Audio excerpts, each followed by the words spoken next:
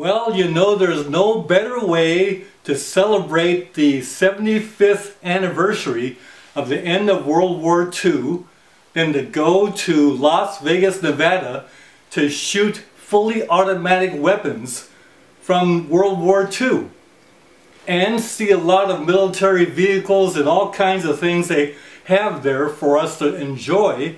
And so we went there to Las Vegas, Nevada to shoot these fully automatic weapons and you gotta bring a friend because you need someone to run the camera. And what you do is you go to the website and you pick out the gun you want to shoot and make a list and how many rounds you want. Then they figure out how much it's going to cost. You give them the credit card then they set you up to shoot fully automatic weapons.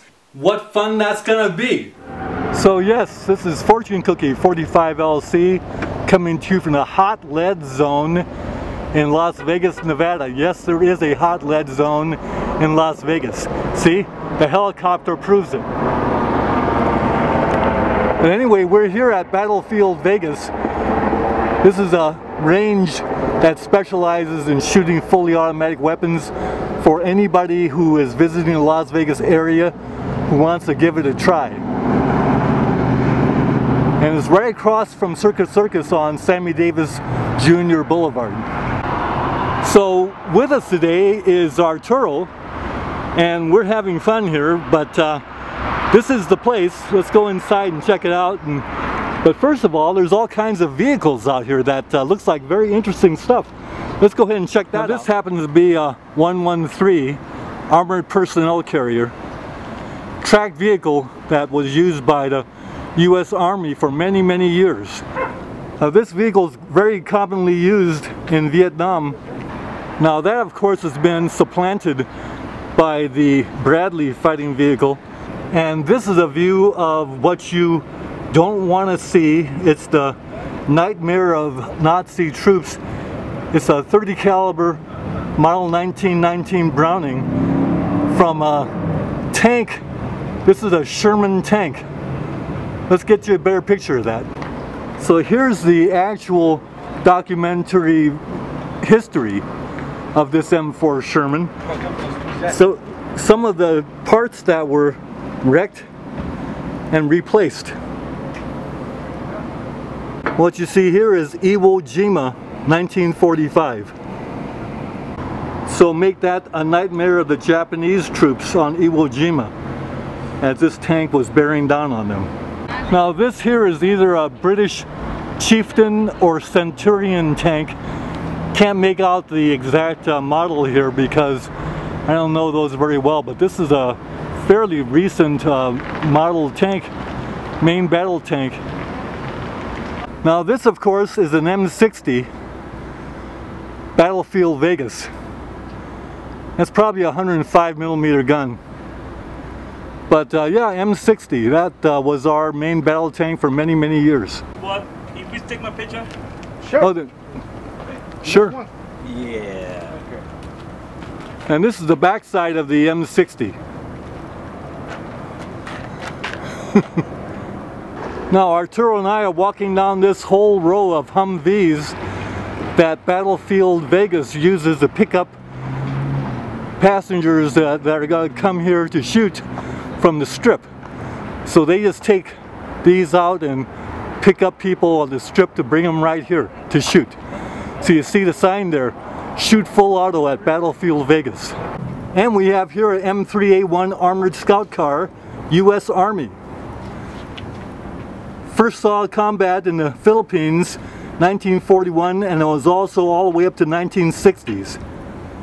Big in the invasion of Sicily, etc., etc. This is a great uh, specimen of an armored vehicle from the U.S. Army. Sounds good. So there's Arturo by one of our real standbys. This is a Army truck, one of the caissons that keep rolling and rolling. So Arturo's checking it out. How's the inside look there, Arturo? Look pretty cool. Look like it got a lot of bottles. Now this is diesel, of course, as you see from that stack.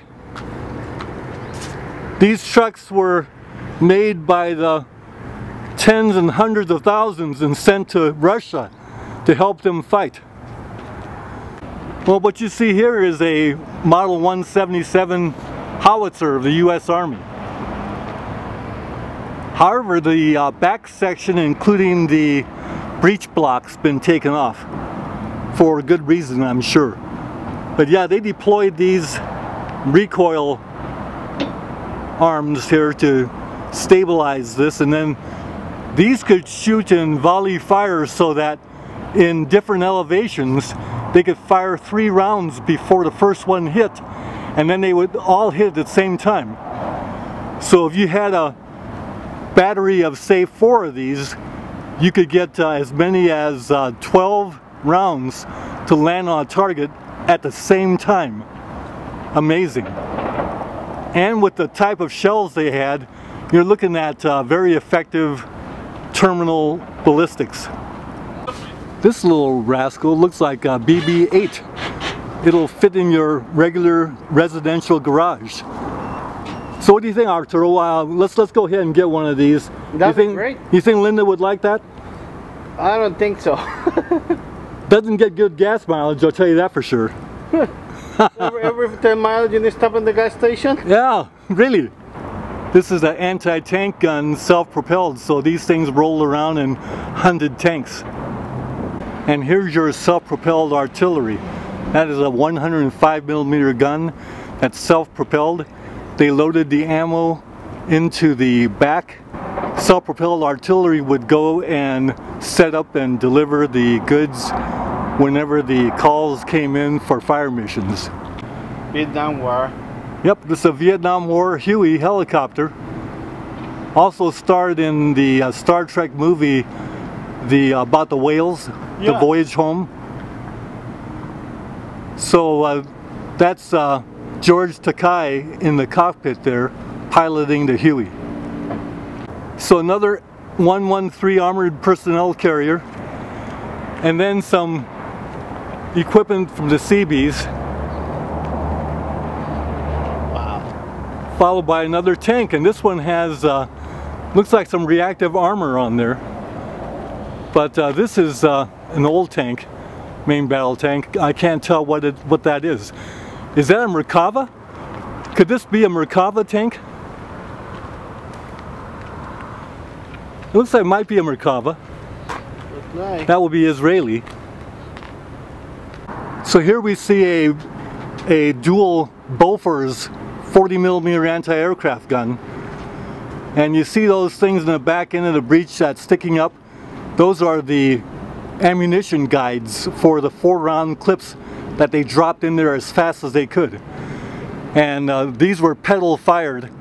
The gunner just hit this pedal in alternating sequence probably taken off of a destroyer or some kind of cruiser because it's uh, got a lot of corrosion on it. And then here's another 40 millimeter dual Bofors and the sights have been knocked off. There you see the pedals that were used to fire the guns and a good look at that breech where the ammunition four round clips were thrown in. Uh, if I didn't know any better, I would guess that that was a V2 rocket, except that there's no rocket. So this is some kind of bomb or facsimile, although you can see a little panel there where they would load the explosives in. So you got me, this might be a bunker busting bomb or something of that nature, hard to say. But those, those fins in the back look like rocket fins. Hard to ID this rascal. So this lot is just full of armored vehicles. Right here in Las Vegas. Look at all those tanks. Look at all those armored personnel carriers. Self-propelled, self-propelled artillery. Okay, there must be about 30 tanks and armored vehicles in this lot. But the star is the one you're looking at right now. This is an M1 Abrams tank. It's our current main battle tank. Looks like it might not be the 120 millimeter gun though. So it might be an earlier model. But what's happening is it's crushing a Toyota. Or is that a Nissan? But it's crushing it. So Battlefield Vegas. Goodness, I don't think that car is going to be uh, the same. Yes. Can you tell what that is? is? What kind of car that is? I tried. Is that a Honda? Is it crushing a Honda? No, it's a Ford. No, Chevy. Oh, it's crushing a Chevy. Maybe they can be a Chevy Malibu. You know, there's something inherently wrong about that. Look at that broken glass. So it actually crushed it.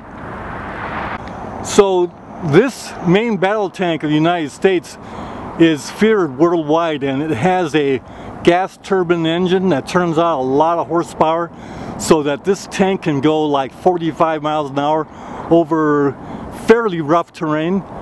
And not only that but the gun is stabilized so it can shoot on the move and hit targets four miles away. And the the heavy tungsten penetrator or depleted uranium that they used uh, would defeat any tank on any battlefield in existence. Now here's an interesting tank and I think that this is a Pershing but I could be wrong. Arturo thinks is a, is a Pershing but uh, what it is is uh, the upgrade this could be a Pershing or a Patton tank one of the ones that succeeded the M3s. This looks like one of our Apaches. Apaches. Yeah, but it's uh, everything's been taken off of it. But uh, you see the weapons pylons and all the avionics and the nose have all been taken off. The engine and rotor blades are gone. But uh, this is a very fast helicopter and it goes in, darts in and launches all its uh, missiles and ordnance. And there's actually a gun underneath there. They don't have the gun. Wouldn't that be fun have one of those? yeah. They even have one of those classic Jeeps. That one's gonna be so fun. Linda would like to drive that. yeah. They've even got one of the old Army half tracks. Amazing. There's the tracks in the back and the two tires in front.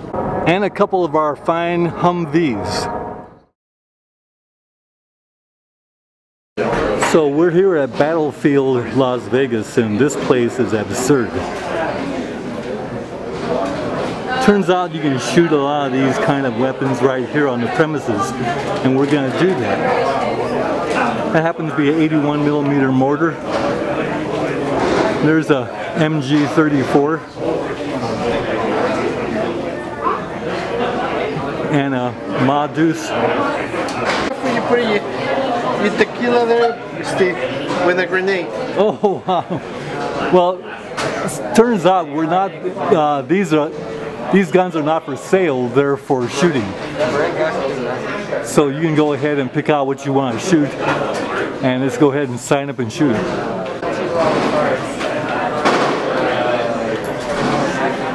A lot of business here. So this is a 25 yard indoor range. Matt's helping us out here and there are weapons right there.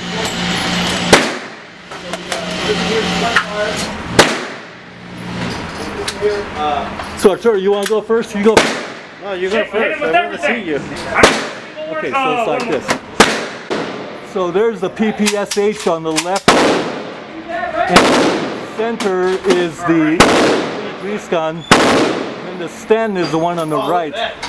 And then we got the Bren, the British uh, Bren gun on the right, and the 1919 30-06, uh, that's the classic uh, 1919, except this one has the shoulder stock on it. We got running.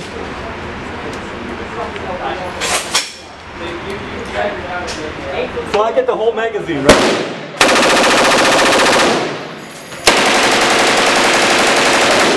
you do it right there. Excellent job.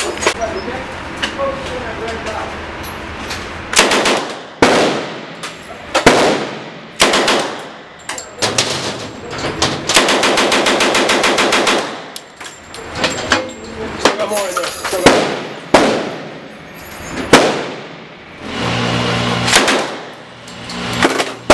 Still got more.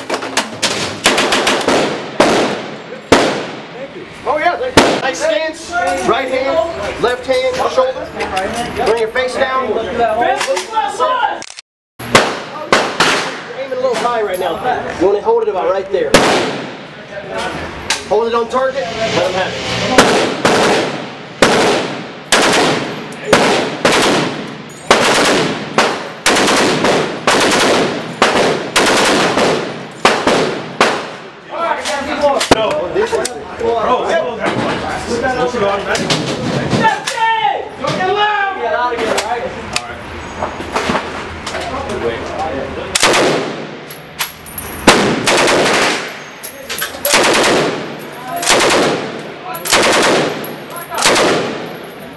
Excellent job, man. Shoulder, lean forward. Sights are right here. Ram in for the red, okay? So this is the stand, nice.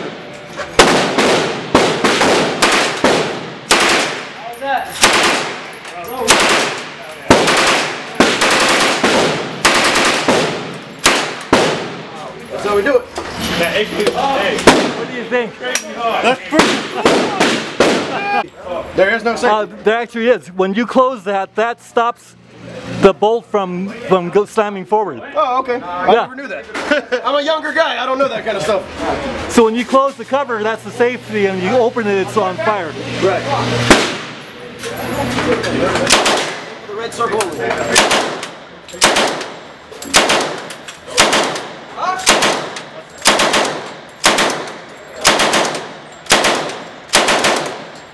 Excellent job. This thing fires super fast. So you guys are messy. Hang on to her.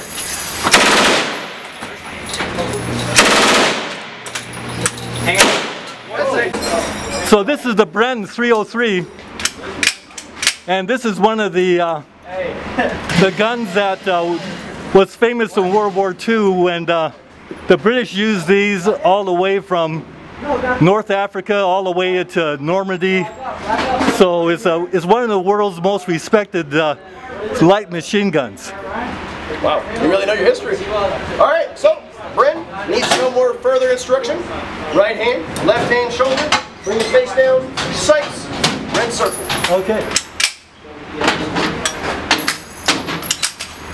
See that magazine just real quick? Yeah, of course. 303 British. It's got the rim. It's a rimmed round. Enjoy uh, briefing. There you go, sir. Fires from an open from the open bolt. Open bolt, yes, sir. Just like most of these older weapons we're shooting. I need more. I need more length here. Yeah. Oh, the sight's way down there. Oh, yeah.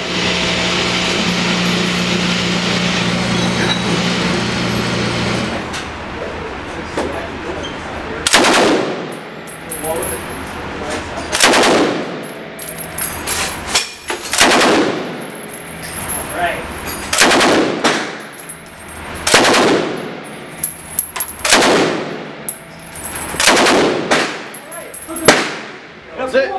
Good job. Yep. Well, I can see the, uh, the, uh, Okay, the Browning Browning Model 1919 is a light machine gun used by the U.S. Armed Forces, but it was also made into aircraft mount uh, used by Great Britain also during the uh, Second World War in their aircraft. All right. So, 1919. Shoulder, right hand, left hand, sights, red circle. Okay, okay. You got 40 rounds each. Hefty by one! Get real loud, guys. I want to do that. Uh, So this one's been adapted to 308 caliber.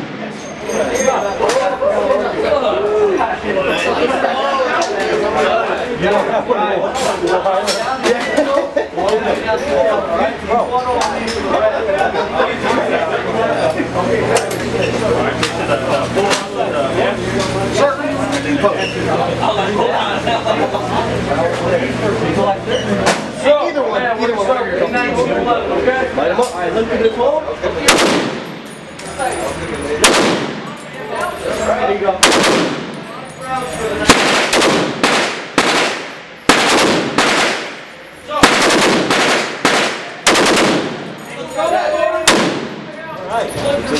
Fantastic.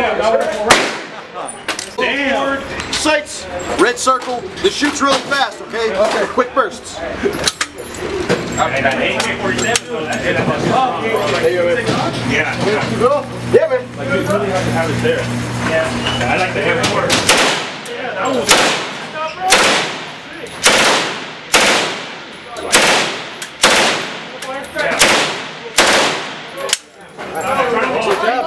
You shot that like a Russian. You guys have fun?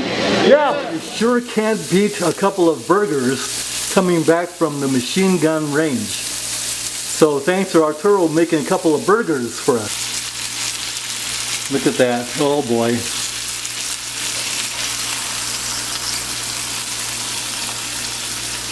Oh boy. Mr. Steve, Thank you so much. enjoy.